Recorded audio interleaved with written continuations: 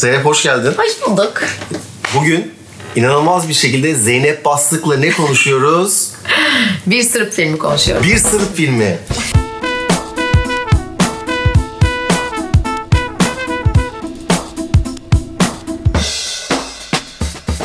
Biraz ters köşe oldu değil mi? Evet.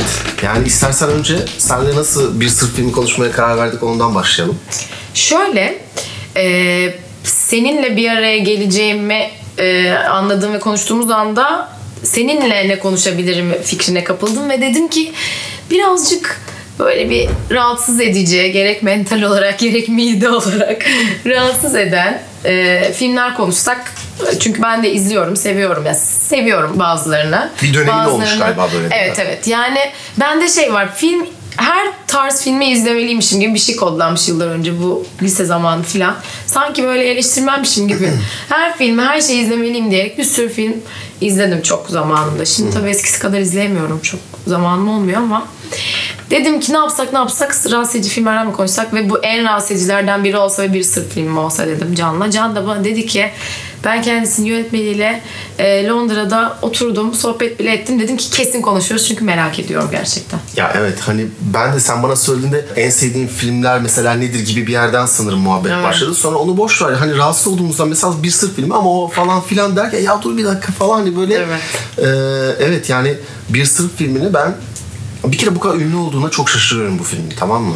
Hani Ünlü mü? Hakikaten çok. Notorious dediğimiz kötü ün manasında. Kötü ün Evet. konusunda, Şurada da hani böyle yasaklı filmler veya controversial filmler dediğimiz zaman hep böyle tepelerde ve de böyle İspanya'da Sitges e, Fantastik Film Festivali'nin sahibinin mahkemeye çıkmasına sebep oldu. Hani siz içinde hani çocukların öldürüldüğü çocuk istismarı olan bir film gösterdiniz mi gibi bir dava açıldı falan. Bu devirde hani biz bu hikayeleri 1980'lerden 70'lerden biliyoruz ama hani bu devirde de bu oldu ve de e, Leicester Square'de Fright Fest'te ben ilk izledim.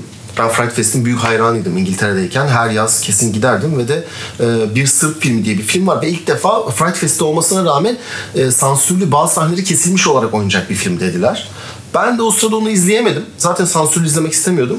Ama böyle barda bir baktım böyle orada oturan filmin yönetmeni çok tatlı bir adam. Aynı zamanda başrol oyuncusu ve senaristi değil, mi? Hayır hayır. Başrol oyuncusu Yanlış ünlü biri. Başrol oyuncusu Ha. ünlü biri. Ee, ve de böyle hani ben daha sonra izledim filmi. İzlediğimde de oha demiştim açıkçası. Ne zaman Ama izledin? Kaç sene sonra? bir sene sonra. O, yani hemen Hemen. çıktığı zaman. Hatta şurada DVD'si var bende. Var mı? Evet, tabii ki. Çok iyi. Ve kapağın güzelliğine bakar mısın? Aa. Yani bu Güzel. filmi bence hani e, hostellerden falan ayıran diğer e, torture porn dediğimiz vahşet pornosu dediğimiz filmlerden ayıran özelliği bir kere her şeyden önce adı. Yani sırf adıyla o kadar meşrulaştırıyor ki bence birçok şeyi. Hani oha dedim yani bu baya kendi ülkesine hani büyük bir gider yapmak gibi bir şey. Yani sanatçının da biraz görevi hani olduğu coğrafyanın veya topluma böyle biraz e, eleştirmek, bazen çomak sokmak falan filan gibi bir yerden. Hani ben böyle çok bir film izlediğimde de bana biraz karikatürize geldi. Mesela hani bir Haneke yapmış olsaydı bu senaryoyu. Hani bir Gaspar Noé yapmış Bu olsaydı. kadar bence çok mideye rahatsızlık o, o tarafa oynamazdı bence bir Gaspar ya da Haneke yapsa. Yani Öyle. Bence Gaspar Noé yapsa daha da şey olurdu gibi geliyor bana. yani bilmiyorum beni psikolojik olarak rahatsız eden filmleri daha çok seviyorum. Bu film bazı konular var mesela benim hayatımda.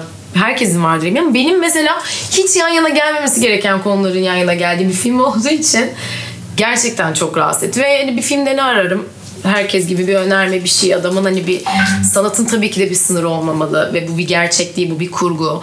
Bunlar okey. Fakat benim kendi e, özelimde bir izleyici olarak sinema izleyicisi olarak yan yana gelmemesi gereken şeylerin yan yana geldiği bir film olduğu için asla hani unutamayacağım rahatsızlıkta ve çok da aslında anlayamadığım yani Öylesiye rahatsız olduğum için Aa, ne anlatıyor? Hani adamın bir davası mı var, bir kavgası mı var, bir Sırp filmi adam, Sırp vesaire bir şey bir şey. Hani ne acaba falan yerine bile giremeyip tamamen dümdüz full rahatsız olduğum bir film aslında. Ben bunu mesela sana çok sormak istiyorum. Bu filmin önermesi nedir? Valla bu filmin önermesi çok subjektif bir şey olmakla beraber tabii. Ben bu filmin önermesinin isminden de başlayarak hani devletimiz bizi bu şekilde ırzımıza geçiyor.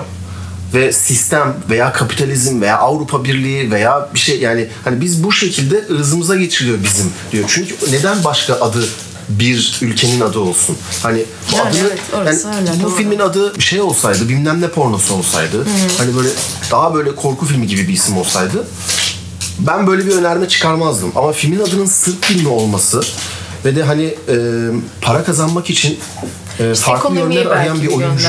falan gibi hani. Efendim? Para kazanamıyor artık öyle bir teklif geliyor ki hiç istemeyerek ailesine bakmak zorunda olduğu için falan gibi acaba bir ekonomiye mi hani gönderme falan falan hani böyle Yani anlamaya evet evet yani böyle para kazanmaya çalışan bir Evet. oyuncuya çok ekstrem bir teklif, Teklif geliyor. geliyor. Adam hakikaten böyle çok çıkmazlarda biraz hani böyle Faust gibi hani şeytanla bir anlaşma yapıyor. Aynen Ama öyle. sonra içine girdikten sonra anlıyor ki gerçekten korkunç ve gerçek bir şeyin içinde. Tabii. Gerçekten e, en ağır sınav dediğimiz gerçekten ölümün çekildiği e, öldürmenin çekildiği en ağır bir videoların içinde buluyor adam kendini. Bunun şokunu yaşıyor falan. Ben o açıdan bu filmi böyle ne bileyim Marquis de Sade gibi, Salo gibi şok etmeye yönelik hakikaten şok ederek böyle insanları sallamaya çalışan bir film olarak Öyle, e, kesinlikle. onların yanına koyuyorum mesela. Bence de öyle kesinlikle öyle. Yani mesela soloyu neydi Sol, solo mu? Salo'yu evet. Ya onu mesela izleyemedim yani hani. Peki mesela Salo'yu bu filmin yanına koyduğunda nasıl değerlendiriyorsun? Hani daha Onu tamamıyla şey buluyorum yani artık çok gerçeklikten uzak buluyorum oradaki hikayede. Ne bileyim yani o işte insanları kapatıp olacak gibi değil yani anladın mı? Hani burada biraz daha işte adamın neden bunu yaptığını anlıyorsun bir şey bir şey falan. Burada bir yere gidiyor işte aile içindeki o amcasının yengesine olan bir şey. Sonra finalde o çıkan iki berbat görüntüde onun adam çıkması ve onun neden çıkabileceğini anlayabilmem vesaire Hani bir yerden bir tık yakalıyor duygu olarak belki bir nebze ama mesela o solo yok yok yani ben Ya şurada çok enteresan. Böyle konuyu dikte ediyormuş gibi olmak istemiyorum ama sanki Salo'da yaşananlar çok daha fazla gerçekten yaşanmıştır. Dünyanın çeşitli hapishanelerinde, dünyanın çeşitli e, kalelerinde, çeşitli Yani zamanlarda ama Evet. Sırp, Sırp filminde yaşanan muhtemelen yaşanmamıştır. Hani kimseyi böyle böyle bir e, belki de yaşamış ama hipnotize ederek ona böyle bir vahşeti yaşatmak, e, vahşetin başrolü yapmak falan aslında aslında bu daha fantazi bir şey ama belki işte gün olarak belki çekilişinin e, mesela Salo kadar Pierre Pasolini gibi iyi bir yönetmen tarafından çekilseydi belki daha farklı mı bakılırdı falan gibi. Hatta mesela bak ben bu filmi ilk izlediğimde arkadaşlarıma şey demiştim. Ya bunu Haneke veya Gaspar Noé çekseydi aynı senaryoyu bu sinema tarihine geçerdi falan. Yine geçti bu film sinema tarihine ama arkadaşlarım da bana şunu dediler. Yani e, o yönetmenler bu filmi çekemezdi. Bu film böyle olduğu için var. Evet dediler. bence de öyle zaten. Yani o o rahatsız ediciliği bir tık böyle çok çok iyi bir film olduğunu düşünmüyorum. O yüzden o rahatsız edicilik de bir tık böyle cheesy bir rahatsız edicilik ama şimdi Haneke'nin filmlerine baktığında ya da Gaspar'ın filmlerine baktığında onda da böyle bir yaşıyorsun o psikolojik gerilmeyi ve rahatsızlığı fakat acayip iyi. Acayip iyi. Her şeyle Evet, acayip iyi evet. filmler ama bunun o bir tık yani nasıl anlatayım ucuzluğu mu diyeyim artık ucuz da değil ama daha iyi görsel olarak çok göze sokmadan da anlatılabilirmiş gibi geliyor bu hikaye. Ama bu dediğin baş, son cümlede başka bir şey söylüyorsun. Çok iyi ve e, iyi bir sinematografiyle yine görsel olarak gözüne sokan mesela 9 saniye Monica Bellucci'nin tecavüze uğradığı Irreversible gibi. Yani bu söylediğin argümanın içinde o nerede kalıyor gibi. Ben de hep böyle şeytanın avukatı gibi hani böyle kendi kendime sorguladığım için bunları ben kendimi öyle bir yerden açıkçası bu tarz filmlerle ilgilenirken buldum. Senle zaten demin baktığımız gibi işte burada demin yasaklanmış filmlere bakıyorduk da de- bir anda Zeynep Titanic ne alaka dedi. Baktık gördüm bu arada. 1940'lardan bir Alman yapımı bir Titanic filmi. Hani herhalde hani Amerikalılara bak sizin geminiz battı dediği için o film Amerika'da yasaklandı. Bu arada çok enteresan Atatürk zamanı 1930'lar Türkiye'sinde Fritz Lang'ın Metropolis'i yasaklanmış Türkiye'de. Ben Türkiye'de yasaklı filmler listesine bakıyordum böyle. Neler yasaklanmıştır Türkiye'de ya? Evet yani hani böyle ki böyle e, hiç tahmin etmeyeceğin ama o zamanlar Metropolis çok daha böyle bir e, o zamanki düzene ters bir düzeni anlatıyor falan gibi bir yer. Yani bir yasaklamaya başladın mı yoldan çıkmamanın imkanı yok. Tabii ki, kesin. Yasaklamayı tamamen ucu açık bıraktın mı da bir garip. Böyle o yüzden hani bir e, Sırp filminde senin bunu seçmen bu konuşmayı böyle tetiklemesi açısından benim çok hoşuma gitti. Ama yani böyle ben Sırp filmini şey bir taraftan ben bu filmi çok beğenmiyorum. Beğenmiyor ama filmi musun? çok beğenmiyorum. Bence hosteller gibi bir estetiği var. Tekrar aynı şeyi söyleyeceğim ama bu filmi Gaspar Noé çekmiş olsaydı aynı aynı gözümüze sokan şeyi bence çok daha etkileyici olurdu. Bence ama kesinlikle. e, Sırbistan'dan çıkmış olduğu için yani bu film bir Hollywood filmi değil. Değil. Sırbistan'dan çıktığı için filmdeki o çiğliği de eyvallah dediğimiz evet. bir yer var. Hatta daha bile daha bile gerçekçi bir şey veriyor. Yani bunu ben mesela O hani- rahatsız ediyor zaten bence. ve de o rahatsız çok. ediyor. Evet. e, mesela ben şimdi bu en son çektiğim bu Peri filmi var ya post apokaliptik bir film. Evet o böyle çok ufak bir film falan ama hani Türkiye'den bir post apokaliptik film çıktı abi falan filan gibi bir yerden kendi kendime hani öyle bir şey yapıyorum. O yüzden ben de mesela Makedonya'ya gittiğim zaman veya İran veya yani Yunanistan o coğrafyadan çıkmayan tarz e, sertliğiyle veya fantazisiyle bilmem ne bir film çıktığı zaman vahşet olsun fantazi olsun, bilim kurgu olsun hani daha enteresan geliyor. Bir de öyle bir değer biçiyorum buna. Mesela bir film izlemiştim Fat Girl diye hiç izledin mi? Tabii ki amasör burada kıl- Evet. O da çok acayip bir film mesela. Hani o çok işte vahşet, kan bilmem ne falan gibi değil. O da çok başka bir yerden mesela. O da bütün film böyle gidip sonunda korkunç bir duvara çarpma Çok şey çok var. mi? zorla zorluyor seni mesela. İşte Haneke'nin o tarz gibi Beniz Beniz Video. of mesela. Bunlar muhteşem filmler ama mesela bunların yanına sırf filmini koyamam. Onu demek istiyorum yani. Evet, evet.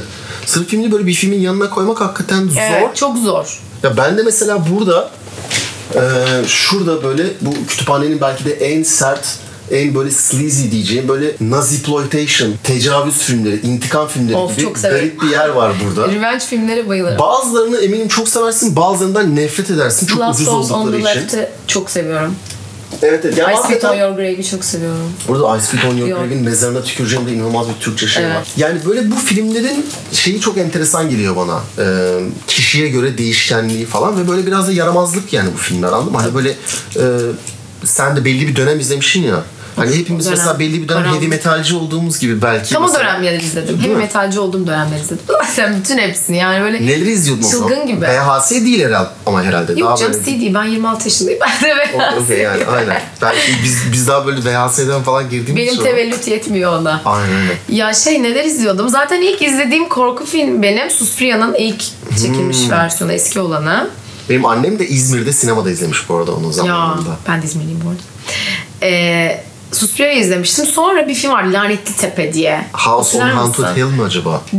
Ya bilmiyorum televizyonda izlemiştim Lanetli Tepe diye. Böyle bir akıl hastanesinde doğum günü yapıyor kadın. Sağ kalana işte 100 bin dolar veriyorlar falan falan. Sağ çıkabilirsen diye. Ya bir bir, manyak grup, çift. bir grup e, misafirin bir evde toplandığı O değil ya. O Ev galiba o çevrimi. O, o da tam aynı benim televizyondan Türkçe isimlerle izlediğim Olabilir, dönem olabilir, işte. O, o değil sanırım. Onu da izledim çünkü o dönem. İşte onu izlemiştim ilk. Ee, Lanet Sepe. Ah korku filmi. Korkuyorum ama izlemek istiyorum. Canım çekiyor. Bu ne ya falan hani. Korku filmiyle ilk tanıştığım e, şeyler, dönemler. Sonra Beşiktaş'ta oturuyordum. Hiç unutmuyorum. Bir CD'cim vardı. Bana da arkadaşlarım çok böyle referans olmuştu. Bir adam var Zeyno git. Ama sakın hani aldanma çünkü kendisine 3 film almaya gidersen 20 film alıp dönersin. Ve İnanılmaz bir sinema aşığı adam ve bir anlatıyor filmleri böyle anlatıyor anlatıyor sonra CD uzatıp gerisi sende. Sen izleyeceksin Güzel ama. Ve manyak gibi böyle işte psikolojik olarak işte rahatsızlık veren filmlere sarmış o da. Bayılıyor yani.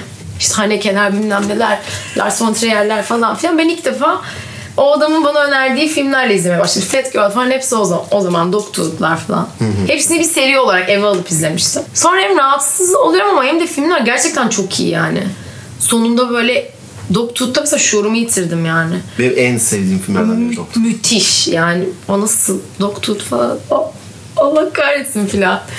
bu arada, Rahatsız ediyor burada mu? Tombi'ye de bir Tombicim. buradan screen time vermiş olduk. Anneciğim artık oturur musun? O da o seride aldığım, O paket halinde aldığım o Ya öyle çılgın bir filmlerden biriydi. gidip e, farklı şeyler bir adamdan tavsiye falan. Bugün mesela bence dijital platformlarda streaminglerdeki en büyük eksik. Hani son zamanlarda da böyle bir Scorsese vs Marvel tartışması var ya. Ben de düşündüğüm zaman en rahatsız olduğum filmler diye. Mesela çok sevdiğim, hayran olduğum ama tekrar bir kere daha başına oturmaya çekineceğim filmler olarak düşündüğümde mesela aklıma bir e, Irreversible geliyor Gaspar Noé'nin. Snowtown diye bir film geliyor. Avustralya'da bir Avustralya filmi. Mesela Snowtown'da Avustralya'daki bir seri katilin hikayesi. Daha doğrusu ufak bir aile trajedisi olarak başlayıp öyle bir şeye dönüşüyor. Sonra Tarantino Cannes'da jüri başkanıyken en iyi film veya en iyi yönetmen ödülünü verdikleri Kinatai diye bir film var. Bir grup polis sadece bir fahişeyi böyle yerinden almaya gidiyorlar ve filmin sonunda yemek yiyorlar sadece yani bu kadar çok kuru böyle ve hani e, o sonunda böyle hiçbir şey olmamış gibi yemek yemeleri yani bir, iç filmin içinde çok kötü şeyler oluyor yani izlemek isteyenler için spoiler vermeyeyim. E, o sonra sonunda böyle sabah karşı bir yerde oturup kokoreç yermiş gibi o rahatlıkları. Çünkü muhtemelen birçok en korkunç günahlardan sonra onu yapan adamlar oturup böyle rahat ve normal Kesin. bir şey yapıyorlar gibi bir yerden çok etkilemişti Evet, beni. kesin. Mesela benim aklıma bu filmler geliyor mesela en en rahatsız olduğum gibi. Sen Onun- de farklı yerlerden rahatsız oluyorsun işte. Evet, evet. Yani onun dışında işin içinde bir yaratık, bir canavar, şey. bilmem ne olunca ben hani böyle Iron Maiden gibi yani. Evet, evet. Tam tersine ölümle dalga geçiyor, hayatla dalga geçiyor. Yani cesaret örneği gösteriyor bu işler gibi geliyor evet, bana. evet. Yani evet senin tarafından da onlar. Şöyle bir şey, Marquis Sade'ın, e, bu arada çok iyi bir Marquis Sade filmi Quills. Ee, şimdi Joker'i oynayan Joaquin Phoenix'in abi. Marquis Sade'ı da şey oynuyordu. Neydi o Shining'deki, Shining'de Shine'daki piyanisti oynayan süper adam. Neyse adı aklıma gelmiş. Şu bu tık diye resim. Şey mi? Jeff bilmem ne. Neyse. Onun oynadığı müthiş bir Marquis Sade filmi vardır. Neyse. E, okuduğum Marquis Sade kitabı bana şöyle gelmişti. Bir kere 200 yıllık falan bir kitap olduğu için 200 yıllık mı ne? E, çok ilkel bir dili var. Yemek tarifi gibi sana işkence anlatıyor ve orada yapılanları anlatıyor. Salo da öyle bir şey. Ve ben bu yemek tarifi gibi bu işkenceyi anlatmayı bir kere daha ne hangi kitapta gördüm biliyor musun? İnanamayacaksın ama Ömer Seyfettin'in Beyaz Lalesi'nde. Beyaz Lale'de Balkanlarda gelen komitalar ve e, sanırım Bulgarlar emin değilim. E, teker teker insanları yakıyorlar ve yakarken işte böyle Fransızlar şöyle kokar, e, Türkler böyle kokar falan onu anlatan başına bir general var falan ve böyle yani ben şok olmuştum. Ben bunu Market Usap'tan hatırlıyorum bir tek falan demiştim. Ömer Seyfettin de çok karanlıktır burada. Ben bir Ömer Seyfettin filmi yapmak çok istiyorum. Diyetler filan yani o. Değil mi? Bu arada adam böyle bir vatansever ve Osmanlı'nın yani Birinci Dünya Savaşı'nın sonunda en son Sevr Anlaşması'nı o zamanlar falan böyle vefat ediyor bildiğim kadarıyla. Yani hiç iyiye çıkışı görmemiş. En kötüye gidişi görmüş, görmüş, görmüş, görmüş, görmüş ve orada yani bütün bu da eserlerine yansıyor. Nedense buradan böyle Adam bir parlak bir şey görmemiş hayatında. Anasım geldi yani. Ömer Seyfettin ruhu şad olsun. Valla evet. Hatta ben Bomba'nın e, kısa film senaryosunu yazmıştım. Bir ara kesin yapacaktım falan sonra. Bombayı hatırlar mısın? Adamın evine bomba bırakıyorlar kadının. Sonra sonunda açıyor bir bakıyor kocasının kafası. Allah. Falan. Katılıyorum. şey Böyle mesela karanlık. Cannibal'ı da izledim. Cannibal Onu Holocaust. izledim evet. Cannibal Holocaust'u hemen çıkaralım. Cannibal'ı izledim. Ama bunu öyle onu da çok eski izledim ve tabii o bilirsiniz o hurafeleri bunlar gerçek işte gerçek görüntüler falan falan gibi paranormal aktivitenin tıpkı gerçek olduğuna bizi inandırdık inandırmaya çalıştıkları gibi. Yani- Bunun da gerçek olduğunu söylemişlerdi öyle izlemiştim bir film olduğunu değil. İşte yok bilmem ne o habercilerin işte kamerasını bulmuşlar da bilmem ne falan bunun üzerine izlediğim için Ama sen ona in- izlerken filmi ona inanmadın. inandım canım Hani baya sen gerçek izle, gerçek yapıyorsun. izliyorum Travma diye. geçirdin o zaman. Tabii canım dedim bu nasıl işte o kadını kaza falan filan. Dedim ne, Ne? yapıyorlar bunlar nasıl hala işte bir şey olmadı hayattalar bilmem ne filan. Gerçek diye izledim mesela Cannibal. Çünkü çok eskiden diye o da. Ben o hikayeleri bilerek yani gerçek olmadığını ama öyle büyük problemlerle bunun yönetmeninin mahkemeye çıktığını falan bilerek izledim. Ben tek gerçek diye izledim bayağı. O apayrı bir konu. Sen bayağı dünyanın gelmiş geçmiş en müthiş yapılmış sınavını izlemiş bir travma geçirmiş ama iyi ki sonradan Bayağı öğrenmişsin travma. doğruyu. Ama şöyle bir şey var bir de bu konuştuğumuz sanatla gerçek arasındaki ayrımın böyle iyice karıştığı, çam- çamur, yani suların iyice çamurlandığı. Mesela Tabii bu canım. filmde hayvan öldürmeleri var gerçek. Bu filmdeki hayvan öldürdükleri sahneler Pink gerçek. Flamingos'ta da var. Orada da tavuk. Evet ve o yani o zaman şey yapıyor biraz hani ya bir dakika diyorsun bu değil yani olay bu değil cheat etmiş oluyor. O zaman sanat yapmış olmuyorsun. Yani aynı şekilde mesela ben pornografiyi de çok severim ama hani gerçekten bir seks sahnesini gerçek olduğu gibi çekip koymakla bir seks sahnesini Yapıyorlar. ima etmek Evet. arasındaki şeyin arasındaki farkı da bilirim. Yani anladın mı? Hani burada da bir ölüm pornografisi yaptığın zaman sanattan çıkıyorsun. Yani zaten pornografi bence biraz onu anlatır. Yani artık bu sanat değil iyice gözümüze sokma. Bazen hani böyle mesela Gaspar Noa'nın şeyine de porno derler ama o ne, ne demeye çalışıyor? Orada hani böyle iyice gözümüze sok aşırılık demeye çalışıyor. Biraz öyle kullanılıyor ama yani burada mesela yani gerçekten ölüm pornosuna girdiğin zaman hayvan olması yetiyor Evet, yani. Hani insan olmasa gerek yok zaten. Hayvan olması mesela bu filmi o manada yasaklayıp bütün buradan başka bir yere koymak isteyen bir insana da katılıyorum mesela. Mesela bunu Serbian filmi daha rahat savunurum. Bu filmi o manada benim bir hayranlığım var ama hep de böyle bir savunmam ben bu film Evet. gibi bir hayranlığım Evet. var. Ee, bu mesela çok o açıdan enteresan ki böyle içinde hayvan öldürülen mesela Hollywood'un döneminin westernleri var. At arabasını uçurumdan aşağı yuvarlıyorlar. Anladın mı? Aslında burada öyle bir cahillik var. Vahşetten çok ne olacak abi at arabasını burada bir western filmin iyi olması için arabanın yuvarlanması lazım diyor 1930'daki Tabii. 20'deki adam. Burada da 1980'deki adam ne olacak? Zaten onlar maymunları öldürüyorlar. Biz de film için öldürelim diyor veya domuzu ateş ediyor sonra yedik diyor falan ama yani o öyle olmaz yani o iş. Çok öyle de. Mesela bunun başka şeyleri var. Bir böyle korku serisi vardır. Ee, Wrong Turn. Wrong Turn, Wrong Turn'ı hep karıştırıyorum. Ay şey radyasyondan çıldıran bir Hills Have Eyes değil. Değil Onu mi? çok severim. karavanda falan. Ya böyle bir, bir şeyle böyle kamyon vardır. Paslı bir kamyon. Kovalar içinden böyle garip yaratıklar çıkar. Böyle bir tane paslı bir borudan aşağı atarlar insanları. Yok. Ee, ve işin ya Wrong Turn'le karıştırıyorum. Wrong Turn değil de. Neyse onun adını buluruz sonra. O filmin şöyle bir olayı var. Filmin yönetmeni pedofiliden suçlanıp hapse girmiş çıkmış ve Hollywood'daki o ring tarafından korulduğu iddia, korunduğu iddia edilen bir adam. Şimdi bu filmi de setinde insanları taciz ettiği falan söyleniyor. Şimdi ben o filmi kütüphaneme koyamıyorum mesela. Mesela işin Haklı. içine böyle şeyler de geliyor. Böyle bir şey olduğu zaman Haklı. sanatla gerçek iç içe geçtiği zaman ben orada yani hemen o kırmızı çizginin çekilmesi taraftarıyım. İşin içinde gerçek hiç Kesinlikle. olmadan sanatta da her türlü pervertlik ve vahşilik yapılsın ki insan deşarj olsun. Kesinlikle. Toplum deşarj olsun gibi. Şey galiba yanlış hatırlamıyorsam Pink Flamingos'un yönetmeni şey demiş. e, bu tavuk öldürme sahnesi canlı canlı hayvan öldürdünüz gerçekten filan. İşte normalde yediğiniz tavuklar oraya e, şeyle mi uyku hapıyla mı geldi ya da ilaçla mı öldürülüp geliyor zannediyorsunuz. En azından tavuğu da ünlü etmiş olduk diyor. Roger Yani hem öldürdük ama, hem de ünlü etmiş olduk. Yani evet. bu Bence şu dönem olsa onu demez. Biraz dönemle de alakası var tabii. birazcık creepy yani. Muhtemelen adam onu orada kestikten sonra da yemişlerdir ve de hani böyle onu bir meşrutiyete oturtmuştu. Oturtmuş. Çünkü Roger Waters'ın gerçekten ciddi bir sanatçı ve felsefeci olduğunu Roger Waters mı demiş bunu? Evet. Ben filmi yönetmenim. John Waters mı? Yanlış mı söylüyorum? Neyse onu da düzeltiriz. Ee, evet film yönetmeni işte. Ee, Pink Flamingos'un yönetmeni. Hatta Pelin Çini'nin de en sevdiği filmdir. Buradan da kendisine selam yollayalım. Pink Flamingos mu? Evet. Ee, Pink Flamingos'u konuşacaktık hatta bir ara. Evet yani bu bahsettiğimiz tartışmada hemen o da mihenk taşlarından biridir. Tabii bir de ki, orada kesinlikle. gerçek dışkı yeme sahnesi vardır Ay, mesela. evet. Yani sen bayağı zamanında araştırmışsın, dibini kazımışsın Nasıl? olayın ya. Süper. Harika. Daha var ya çok notlarımı aldım. Neler var neler.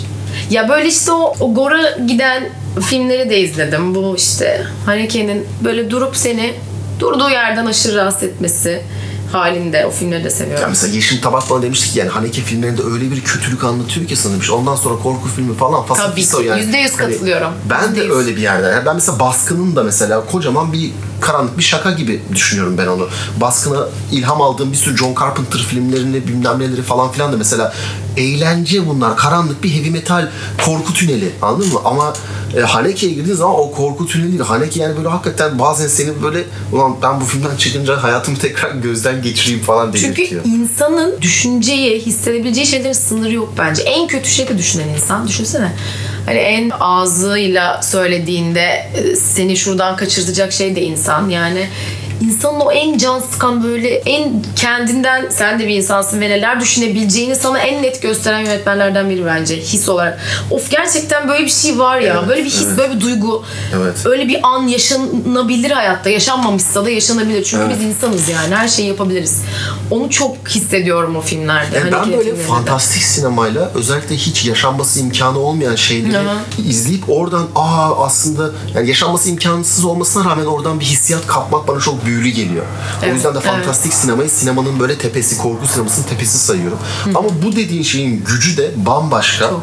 Ve böyle ben mesela hiçbir zaman belki de e, Snowtown gibi veya Kinatay gibi bir film yapmam diye düşünüyorum. Çünkü onu yaparken de biraz eğlenmek isterim. Yani ben hani e, Doğru söylüyorsun. yani sırf filmin Anlıyorum. içinde bile "Ya arkadaşlar biz burada müthiş bir çok argo da olsa çok böyle karanlık da olsa bir müthiş bir metafor yapıyoruz diyorlar tamam mı? Yani diğer tarz bir şey yani böyle bilmiyorum bana çok zor gelir onun montaj süresi hazırlığı falan filan. Ama ben de mesela belki de biraz hani böyle konuyu toparlama olarak mesela en sevdiğim ve bu tam arada kalan dövmesini de yaptırmış olduğum Texas Chainsaw Massacre'ı hani böyle söylemek istiyorum. Beni gerçekten sinemaya başlatan film belki de Öyle Texas mi? Chainsaw Massacre. Evet yani böyle onu ilk izlediğimde ben bu filmi bir daha izlemeyeyim falan olup kısa bir süre sonra bir daha bir daha bir daha izleyip mesela Türkiye'de genelde böyle saygın sinemacılar genelde böyle korku sinemasıyla biraz mesafeli oluyor maalesef ve mesela Toby Hooper'ın Texas Chainsaw Massacre'ın ne kadar art house olduğu mesela pek bilinmiyor.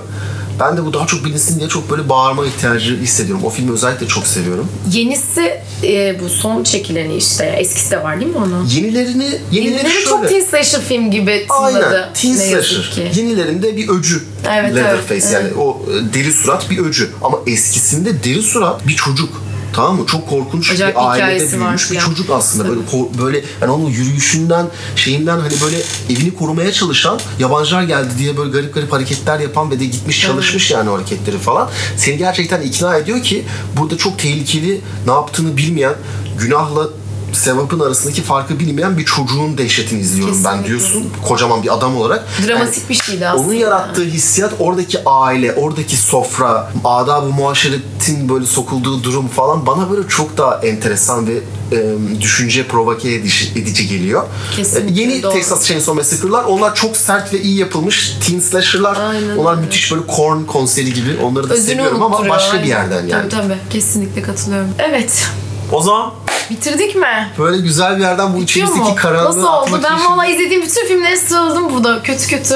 Çok iyi Neyleri oldu. izledim ne gerek vardı ee, Çok iyi diyecek oldu, çok arkadaşlarımız iyi oldu. duyar gibiyim. Olsun. E, bu, film, bu, bu bölümü izleyip buradan bir sürü araştırıp Aa, şunu da izleyeyim bunu da izleyeyim diyen olacaktır herhalde. Çok teşekkür İzlesin ederim. herkes. Her şeyi izlesin. Harika oldu. Teşekkür Arkadaşlar bu arada başka izlemek is- merak ettiğiniz konuklar konular olursa konuları siz seç- seçemiyorsunuz. Konuklar seçiyor da merak ettiğiniz konuklar şu gelsin ha programa falan dediğiniz olursa lütfen bize yazın yorumlarda. Ee, Merve böyle dememi söyledi size. Ee, çok sevgiler öpüyorum herkese. Görüşmek üzere. Hoşça Zeynep'e kalın. tekrar teşekkür ediyoruz. Ben teşekkür ederim. Bay bay.